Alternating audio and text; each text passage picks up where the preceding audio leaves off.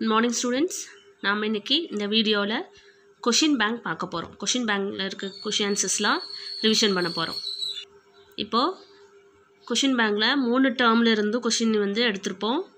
அதை வந்து நாங்கள் கொஷின் பேங்காக கொடுத்துருக்கோம். இதில் இருக்கிற கொஷின் ஆன்சர்ஸ் எல்லாமே நீங்கள் படிச்சிங்கன்னா மட்டும்தான் இதுலேருந்து எனி ஃபைவ் அட்டன் பண்ணுற மாதிரி இருக்கும்ல எனி ஒன் அட்டன் பண்ணுற மாதிரி இருக்கும். சரிங்களா? அப்போ என்ன பண்ணணும் நம்ம? முதல்ல கொஷின் பேங்கை தரவு பண்ணணும். ஓகே பார்க்கலாமா? ஃபஸ்ட்டு லெசன் கொஷின்ஸ் லெசன் கொஷினுக்கு எவ்வளோ மார்க்கு ரெண்டு மார்க் ஒரு கொஷினுக்கு ரெண்டு மார்க் ஓகே லெசன் கொஷின்ஸ் மட்டும் எத்தனை இருக்குது அப்படின்னு பார்த்தா டுவெல் இருக்குது first term second term third term எல்லாம் சேர்த்து டுவெல் கொஷின்ஸ் இருக்குது இதில். இதில் ஃபஸ்ட்டு ஒவ்வொரு கொஷினாக ரீட் பண்ணி பார்த்துக்கோங்க. ரீட் பண்ணி பார்த்துட்டு எந்தெந்த டேர்மில் இருக்குன்னு ஃபஸ்ட்டு சைடில் நோட் பண்ணி வச்சுக்கோங்க. ஓகேங்களா இப்போ நான் இங்கே வந்து ரஃபாக நோட் பண் நோட் பண்ணியிருக்கிறது வந்துட்டு ஃபஸ்ட்டு ஃபைவ் கொஷின் வந்துட்டு தேர்ட் டேர்ம் தேர்ட் டேர்ம் நாம் லாஸ்ட்டாக பார்த்தோம் இல்லையா? ஃபஸ்ட் லெசன் ஓகேங்களா அடுத்து சிக்ஸ் செவன் இந்த ரெண்டும் வந்துட்டு என்னது? செகண்ட் டேர்ம் டான் குயிக் ஷோட்னாவே என்னது? செகண்ட் டேர்ம் ஓகேங்களா அடுத்து பாருங்கள் eight nine ten eleven twelve இது எல்லாமே என்னது? இதுவும் இது வந்துட்டு ஃபஸ்ட் டேர்ம் ஓகேங்களா இதெல்லாம் சேர்த்து ஃபஸ்ட் டேர்ம் இப்போ நம்ம எந்தெந்த டேர்ம் நோட் பண்ணிக்கிட்டோம்னா நம்மளுக்கு படிக்கிறதுக்கு ஈஸியாக இருக்கும். அதுக்காக தான் ஓகேங்களா இப்போது தேர்ட் டேர்ம் நம்ம இப்போ தான் டச்சில் இருக்கோம். இப்போ தான் படித்து முடிச்சிருக்கிறோம். அதில் இருக்கிற பேராகிராஃபோ இல்லை போயமோ இல்லை கொஷின் ஆன்சரோ உனக்கு நல்லாவே ஞாபகம் இருக்கும். ஓகேங்களா அப்போ நம்ம என்ன பண்ண போகிறதில்ல சாரி இந்த தேர்ட் டேர்ம் வந்து நம்ம ரிவிஷன் பண்ண போகிறதில்ல ஓகேங்களா செகண்ட் டேர்மும் நீங்கள் லாஸ்ட் டைம் இப்போ தான் கொஞ்ச நாள் கொஞ்ச நாளைக்கு முன்னாடி படித்ததுனால செகண்ட் டேர்மும் உங்களுக்கு ஞாபகம் இருக்கும். ஸோ நம்ம என்ன பண்ண போகிறோம் அப்படின்னா இந்த ஃபஸ்ட் டேர்ம் தான் மறந்துருப்பீங்க. ஓகேங்களா? இந்த ஃபஸ்ட் டேர்மில் இருக்கிற கொஷின்ஸஸ் மட்டும் நான் இப்போ என்ன பண்ண போகிறேன் ரிவிஷன் பண்ண போகிறேன் என்னென்ன கொஷின் இருக்குது what did granny say about Hamid's parents write about Hamid in one or two sentences what did Hamid buy at the fair and for whom what story did grandfather tell them about the haunted haunted hill what scared Usha during the dark rain rainy night இது எல்லாமே second first டேர்மில் இருக்கக்கூடிய கொஷின்ஸஸ் so என்ன பண்ண போகிறோம் அப்படின்னா first term தான் நீங்கள் மறந்துருப்பீங்க. அதனால் அதை மட்டும் ஜஸ்ட் ஒன் ஒன்ஸ் வந்து ரீகால் பண்ண போகிறோம் இதில் ஃபஸ்ட்டு டூ கொஷின்ஸ் தான் இருக்குது ஸோ அது ரெண்டு மட்டும் பார்த்தா போதும். What did granny say about Hamid parents granny said that Hamid's father had gone to earn money. He added that his mother had gone to Allah to get lovely gifts for Hamid. ஹமிட்டோட parents வந்துட்டு எங்கெங்கே போயிருக்கிறதா வந்துட்டு grand கிராணி வந்து ஹமிட் சொல்லியிருப்பாங்க அப்படின்னா அப்பா வந்துட்டு ம பணம் சம்பாதிக்கிறதுக்காகவும் அம்மா வந்துட்டு நிறைய கிஃப்ட்ஸ் வாங்கிட்டு வரதுக்காகவும் போயிருக்காங்க அப்படின்னு சொல்லி சொல்லியிருப்பாங்க write about Hamid in one or two sentences Hamid was four years old அவனுக்கு எத்தனை வயசு? நாலு வயசு. He was thin and poorly dressed but he was the happiest of all boys around பார்க்க எப்படி இருப்பான்? ரொம்ப ஒல்லியாக ரொம்ப ஏழையாக இருப்பான். ஏழையாக ட்ரெஸ் பண்ணியிருப்பான். ஆனால் அங்கே இருக்கிற எல்லா பாய்ஸை விட அவன் தான் அந்த கேங்லேயே ரொம்ப ஹாப்பியாக இருக்கிறவன். ஓகேங்களா? அது ரெண்டு கொஷின்ஸ் தான் இருக்குது இதில் செகண்ட் யூனிட்டில் வந்துட்டு இந்த கொஷினும் செகண்ட் கொஷினும் த ஃபோர்த் கொஷின் தான் இருக்குது what story did grandfather tell them about the haunted hill haunted hill பற்றி கிராண்ட் ஃபாதர் என்ன சொன்னாங்க? அப்படின்னா the grandfather told them about the story of the ghost on the haunted hill இந்த haunted ஹில்லில் பேய்கள்லாம் இருக்கு இல்லைங்களா? அதை பற்றி தான் அவங்க என்ன பண்ணியிருப்பார்? கிராண்ட் ஃபாதர் வந்து ஸ்டோரி சொல்லியிருப்பார். What scared Usha during the dark rainy night when Usha moved against the stones sideways she touched a soft and furry cat meanwhile She gave a frightened cry and took her hand away. This made Usha to scare in the dark rainy rainy night. அதாவது அந்த அந்த என்ன சொல்கிறது அந்த ரூயின்ஸில் போயிட்டு உஷா வந்து இருக்கும்போது என்னாகும்? அப்படியே கையை வச்சுக்கிட்டே அப்படி என்ன ஆகும்? ஒவ்வொரு இடமா டச் பண்ணிக்கிட்டே வருவா. அப்படி வரும்போது என்னாகும் அப்படின்னா ஒரு இடத்துல எல்லா இடமே சாஃப்டாக இருக்கிற மாதிரி இருக்கும். ஒரு இடத்துல மட்டும் எப்படி இருக்கும். ரொம்ப மொரமொரப்பாக இருக்கிற மாதிரி இருக்கும். அதை பார்த்தோன்னே என்ன பண்ணிட்டா டக்குன்னு பயந்துட்டு கையை எடுத்துட்டா. அதுதான் அந்த அவள் என்ன பண்ணா அன்னைக்கு வந்து பயந்ததுக்கு காரணம். இந்த ரெண்டு கொஷின் தான் இருக்குது இப்போ த ஃபஸ்ட் டேர்மில் இருந்துட்டு இந்த ரெண்டு கொஷின் தான். ரெண்டு ப்ளஸ் கிராண்டியில் ஹமிட் லெசனில் ரெண்டு கொஷின் இருக்குது ஹமிட் லெசனில் இன்னும் ஒன் ஒரு கொஷின் இருக்குது what it Hamid buy at the fair and for whom இதில் இந்த கொஷின் நம்ம வந்து பார்க்கல.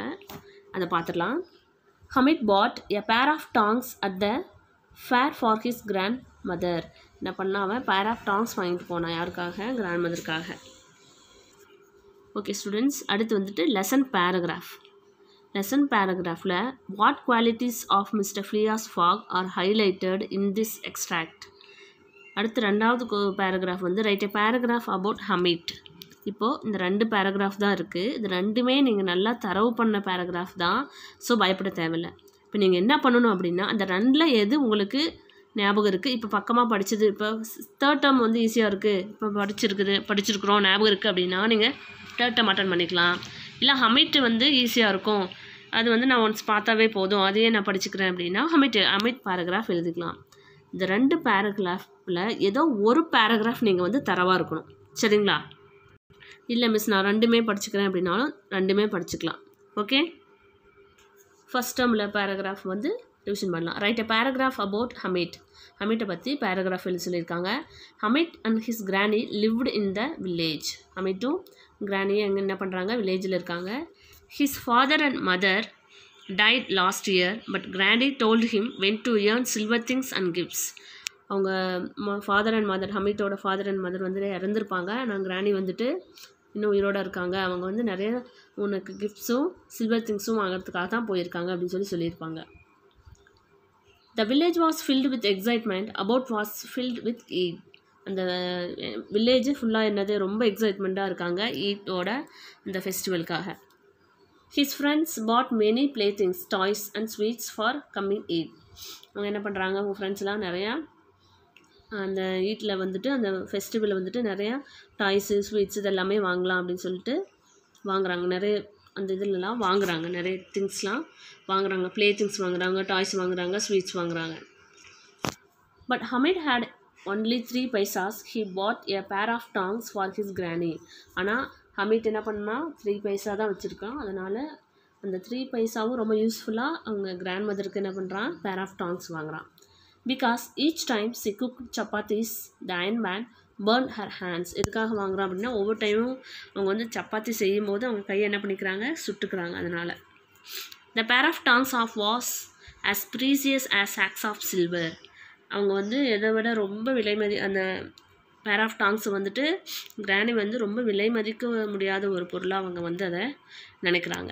ஓகே ஸ்டூடெண்ட்ஸ் இந்த பேராகிராஃப் அண்ட் இது வந்து தேர்ட் டம் பேராகிராஃப் இது நம்ம ரீசனாக தான் ரிவிஷன் பண்ணியிருக்கோம். உங்களுக்கு ஞாபகம் இருக்கும். ஓகே அடுத்து போயம் கொஷின்ஸ் எட்டு கொஷின் இருக்குது இந்த எட்டு நல்லா தரவு பண்ணிக்கோங்க. இது பாருங்கள் கிராண்ட்மா இது வந்து த கம்ப்யூட்டர்ஸ் வேலோட கிராண்ட்மாவில் இருந்து இருக்குது அப்போனா ஃபஸ்ட் டேர்ம் ஓகேங்களா who what is the author plea who is the speaker what was the horse doing இது வந்து லிசனஸ் இது வந்து செகண்ட் டேர்ம் இந்த கம்ப்யூட்டர்ஸ் வேலோட கிராண்ட்மாவில் த்ரீ கொஷின்ஸ் இருக்குது அந்த த்ரீயுமே இருக்குது whom did the author ask for grandma the author asked Jeeves for grandma ஜீவ்ஸ்கிட்ட the author asked Jeeves for grandma grandma எங்கன்னு சொல்லிட்டு ஜீவ்ஸ்கிட்ட கேட்குறாங்க அடுத்து did the author get a positive reply no the author did not get a positive reply author வந்து positive reply கொடுக்கல இருக்காங்க அப்படின்னு சொல்லிட்டுலாம் கொடுக்கல. இல்லை அப்படின்ற மாதிரி நெகட்டிவ் ரிப்ளை தான் அங்கேருந்து வந்தது. What is the author's plea the author pleaded to send back grandma through email by copying scanning and pasting அதாவது கிராண்ட்மாவை நீங்கள் பார்த்தீங்க அப்படின்னா எனக்கு இமெயில் பண்ணுங்க அப்படின்னு சொல்லிட்டு அதை தான் ரொம்ப ரெக்வஸ்ட் பண்ணி கேட்பார் அவர். ஓகே லிசனஸ் போயமில் இருக்கக்கூடிய கொஷின் ஆன்சர்ஸ் மீதி இருக்கிறது எல்லாமே எதில் இருக்குது லிசனஸில் இருக்குது who is the speaker the poet is the speaker what was the horse doing the horse was grazing the grasses noisily who are the listeners a host of phantoms where the listeners how did the traveler feel when nobody answered? The traveler was confused. Well there was no answer அங்கேருந்து எந்த ஆன்சரும் வராதனால confuse ஆகிட்டார் what kind of feeling does the poet poem create the poem creates a mystery mysterious feeling poem வந்து எந்த மாதிரி ஒரு ஃபீலிங்கை create பண்ணுறாரு அப்படின்னா மிஸ்டீரிக்கல் புரியாத ஒரு புதிர் மாதிரி. ஓகே ஸ்டூடெண்ட்ஸ் இந்த ஃபைவ் கொஷின்ஸ் இருக்குது அவ்வளோதான் போயம் கொஷின்ஸு டோட்டலாக எயிட்டு ஓகேங்களா அந்த எயிட்டில் ஃபஸ்ட்டு த்ரீ வந்துட்டு எங்கே இருக்குது ஹூ இந்த கம்ப்யூட்டர்ஸ் ஃபைலோட கிராண்ட்மாவில் இருக்குது மீது எல்லாமே லிசனஸில் இருக்குது ஓகேங்களா அடுத்து அப்ரிசியேஷன் படிச்சுக்கோங்க. அப்ரிசியேஷன் வந்துட்டு புக் பேக் புக் பேக்கில் இருக்கக்கூடிய அப்ரிசியேஷன் இப்போ இந்த லிசனஸ் போயம் இருக்குன்னா இந்த லிசனஸ் போயமுக்கு பின்னாடி இருந்தால் அப்ரிசியேஷன் இருந்தால் அதை படிச்சுக்கோங்க. ஓகேங்களா இதில் இருக்கிற எல்லா அப்ரிசியேஷனும் இது வந்து சரோஜினி நாயுடு வாண்டரிங் சிங்கர்ஸ் ஓகேங்களா அதுக்கப்புறம் வந்து த கம்ப்யூட்டர்ஸ் வேலோடு கிராண்ட்மா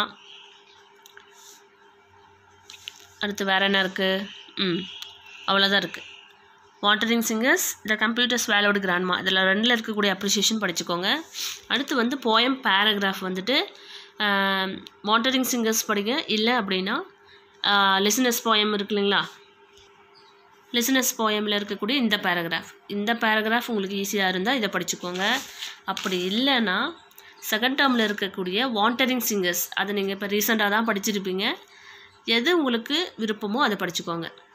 ஓகேங்களா? அந்த ரெண்டு பேராகிராஃபில் ஏதோ ஒரு பேராகிராஃப் கண்டிப்பாக நீங்கள் படிக்கணும்.